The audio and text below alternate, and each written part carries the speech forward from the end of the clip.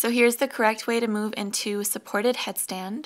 Uh, start on elbows and knees and have your elbows uh, this far apart, fingertips touching the elbows. Uh, clasp your hands together and you're going to put your head right in the middle. You're going to have the crown of your head touching the ground. Um, you're going to move up at a slight slant. Your body is going to be moving over your head, actually, and uh, your legs are going to be providing the counterbalance over here. Bend one knee and push up into here. This is half up.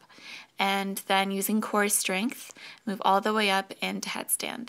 Now, you want to make sure that you don't just kick up one leg.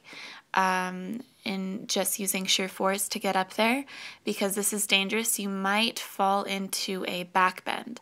And uh, some people are flexible enough for this and will be able to fall safely, uh, but you can hurt your neck. And so you, you want to make sure that you move up in a slow and controlled way.